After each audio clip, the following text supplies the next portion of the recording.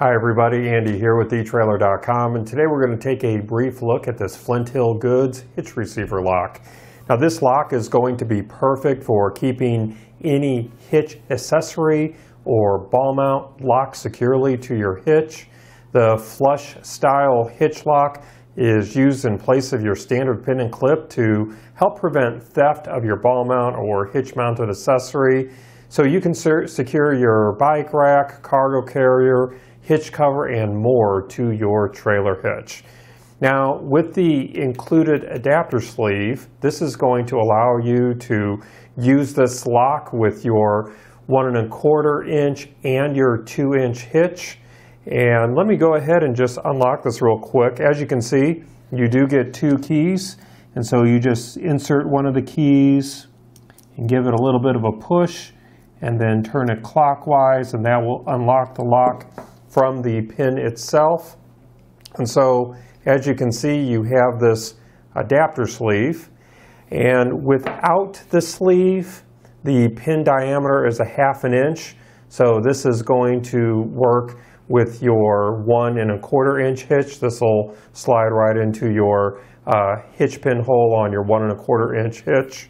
And then with the sleeve, this will uh, increase the pin diameter to 5 eighths of an inch to allow it to work with your 2 inch hitch, sliding right into your um, hitch pin hole of your 2 inch hitch.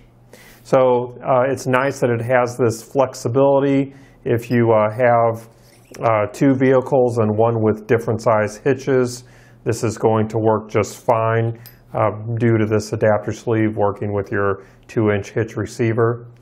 And this features a PVC dust cap that's going to help keep any dirt and debris uh, out of that lock cylinder. I did want to point out that you do need the key to lock this. So this lock is currently in the locked position and I can't um, lock that.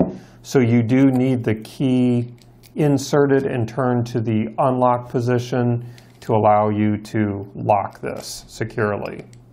So have that uh, in the unlocked position. I'm going to turn the key to the lock position.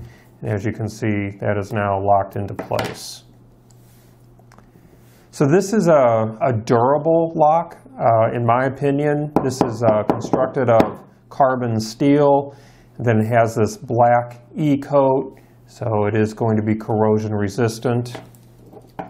Let me go ahead and retrieve my ruler here. Just wanted to give you the measurement of that inside pin length. And as you can see, we're sitting right at two and three quarters of an inch. So the, overall, this is going to do a great job of securing your ball mount, your hitch accessory. It's going to be very easy to use.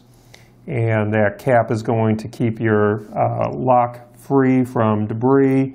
So I just wanted to again show you, insert the key, give it a little bit of a push, turn it clockwise, and while that's in the unlocked position, that key is going to stay in there. And then when you run this through your hitch receiver, put the lock back on the pin, turn that counterclockwise to the locked position, close your cap, and you're secure and ready to go. Well, that's going to conclude our brief look today. I do hope that it was helpful for you. Again, my name is Andy. Thank you for joining me.